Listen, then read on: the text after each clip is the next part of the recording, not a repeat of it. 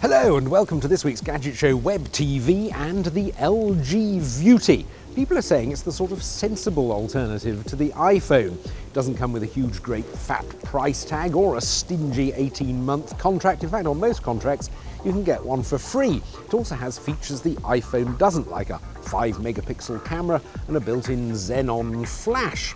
It's a sort of development of the well-established and well-respected LG Prada, but without the additional branding. Like the Prada, it has a fully functional touchscreen. The trouble is, the iPhone's redefined what we expect from touchscreens on phones.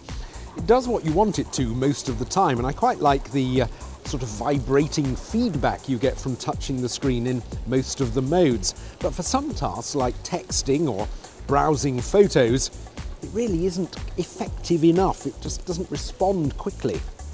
Now, because this phone has more than the Prada to control, and because there isn't a proper scrolling gesture in the interface, LG have had to fit this clumsy scroll wheel on the back of the phone where it ruins the styling, it's very awkward to use, and also means you get fingerprints on the camera lens.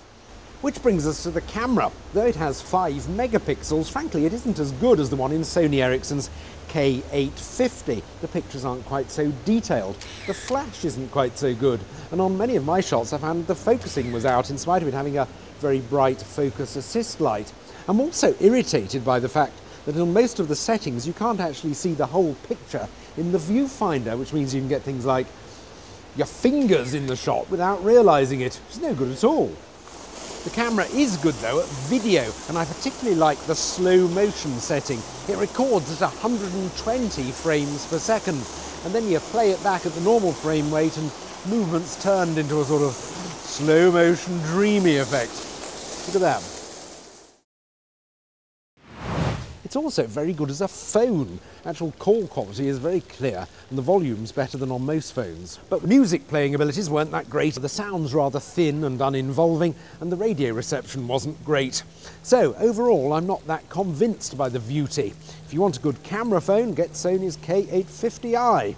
If you want a good all-round phone, get an N95. And if you want an iPhone, for goodness sake, get an iPhone.